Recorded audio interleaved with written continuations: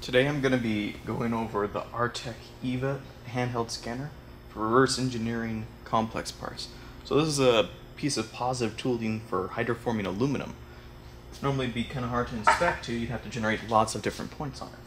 So all it is, I have the Artec Studio editor open. I'm going to start the scanner into preview mode.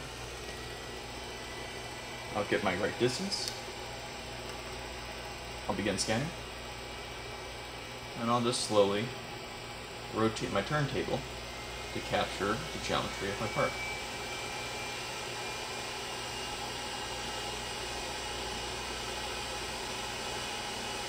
Once I have a good complete capture, I'll stop.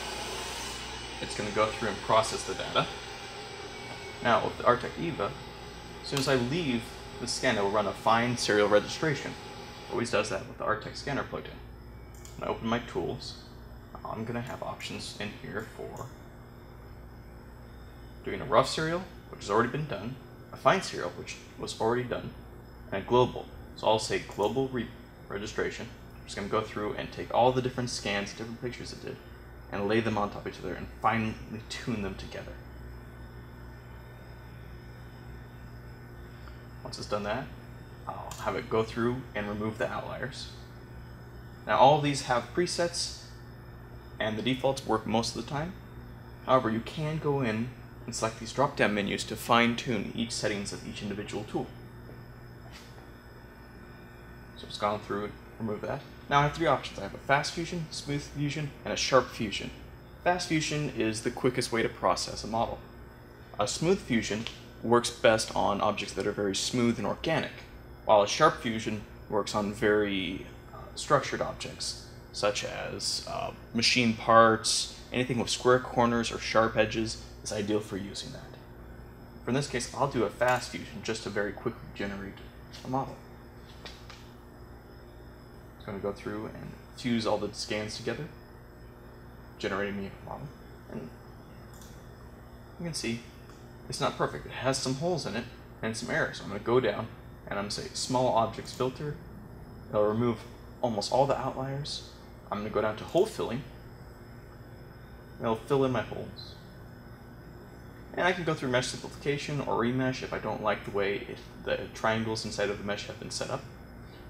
Or a general smoothing, something you more want to be worried about if you have a non-organic part. Once again, something you'd use the sharp fusion on. However, our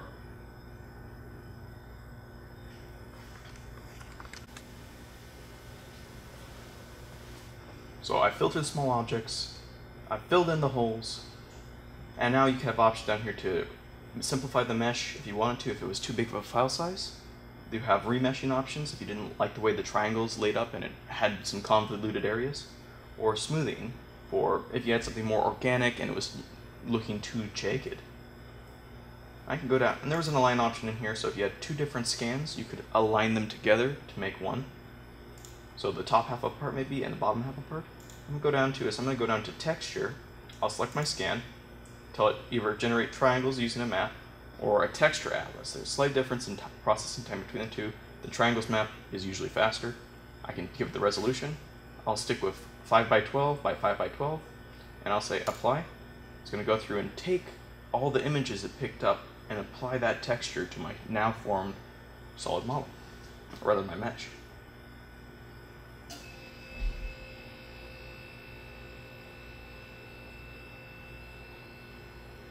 Going to go through, process it.